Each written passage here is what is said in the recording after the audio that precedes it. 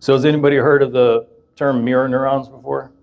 So mirror neurons, as I understand, it's a function in our brain that allows us to connect more emotionally with other individuals without even having to communicate.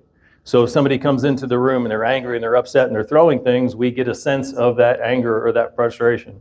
Similarly, if somebody's very calm or feels very nurturing or loving, we can also get a sense of that without even speaking words to them. And you've experienced this if you've ever, let's see, yesterday was Sunday, so if you were watching a football game and you see somebody taking a really hard hit and you feel yourself jump, or if you've watched some of those videos where people are in accidents, you see somebody topple off a bike and you feel yourself tense up, part of that is this uh, this action of these mirror neurons engaging and helping you, helping promote a sense of connection with those that are around you. But really, this whole function of the brain, it comes back to helping facilitate that sense of connection and also receive benefits from that. So with that connection, um, can help our body regulate.